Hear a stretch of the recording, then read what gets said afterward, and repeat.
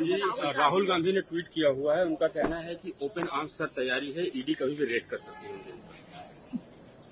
पता नहीं भाई उनकी सूचनाएँ कहाँ से आती है मुझे नहीं पता इस बारे में। वो ईडी जाने और वो जाने कि क्या होगा मुझे नहीं पता। मैं इस बारे में कोई कमेंट नहीं कर सकता करना चाहता वैष्णव के ऊपर अटैक किया है इंडिया ब्लॉक में उनका कहना है कि ये रियल मिनिस्टर हैं और वो उनको तो रेजिग्नेशन देना चाहिए रोज रोज रेलवे के एक्सीडेंट्स हो रहे हैं। एक्सीडेंट्स के कल उन्होंने आंकड़े दिए थे और उनके जो उन्होंने आंकड़े दिए थे उसके हिसाब से यूपीए के भी, भी कितने एक्सीडेंट्स हुए हैं और बाद में कितने एक्सीडेंट्स हुए हैं।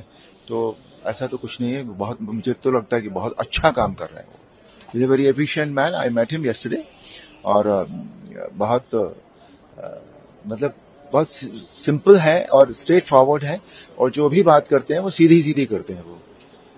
मुझे तो वो राजनीतिक नेता कम लगे काम करने वाला व्यक्ति ज़्यादा लगा मुझे।